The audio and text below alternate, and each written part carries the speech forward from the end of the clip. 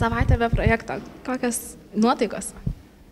Nuotaikos šviesios, viskas gerai.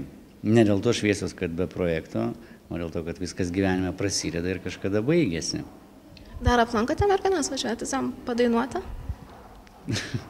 nu, aš tikrai nebevažinėjau kaip anksčiau po du, po tris kartus į savaitę.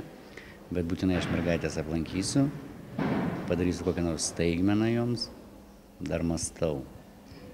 Ir liko keturi chorai, gal turite kokį nors favoritą, kuriam norėtumėte, kad laimėtų? Ne, neturiu, panevežė choras buvo mano favoritas, bet jisai iškrito. Tai dabar aš tiesiog noriu palinkėti kitiem choram, pasisemtų iš mūsų to, ko jie neturi, o jie neturi jausmo, tarsi kiekvienas išėjimas į sceną būtų paskutinis. Ne šiaip paskutinis, o paskutinis jau jų gyvenime, nu pats paskutinis. Ir kad kiekvieną kartą jie taip ir dainuotų su visa širdim, visa siela, atvirai ir užtikrintai.